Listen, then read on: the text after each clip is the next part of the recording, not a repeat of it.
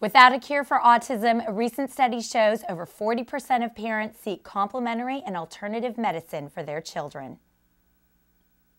Autism affects 1 in 68 kids, and one local boy's family has committed their life to finding help for their son. I like to read books about space and life. Connor Mulholland was diagnosed with autism when he was two years old. Seeking traditional medicine at first, his parents found a doctor recommendation unsettling. She wanted to put him on Prozac. And we're like, we came home and we're like, that just doesn't sound right for a two and a half year old. Ben and Ken Mulholland began researching other ways to help their son and tried behavior, speech, occupational therapy, as well as a specialized diet free of sugar, casein, and gluten. Then a friend introduced another effective therapy.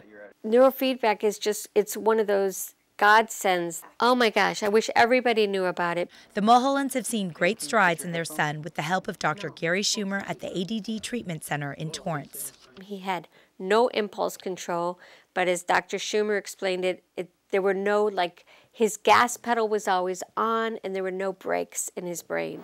Hey Connor, how you doing? Great. Neurofeedback directly trains the brain to function more efficiently. After brain mapping and understanding where the connectors were weak for Connor, Dr. Schumer advised 50 sessions. But this is a direct treatment on the brain that facilitates things in a way that I don't know any other treatment that does. A sensor is put on each ear, and depending on what brain waves are targeted, there may be one to three sensors put on the scalp in one 30 minute session. Neurofeedback, it's supporting the other therapies. Connor used to have tactile defensiveness, sensory issues, and abrasive behavior. Neurofeedback has changed all that. Connor had no intention of giving us a typical life, and it's been the best journey I have, could even wish for.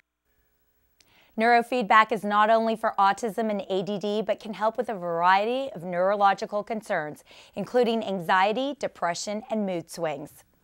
Torrance and five other cities in the South Bay have teamed up for a very important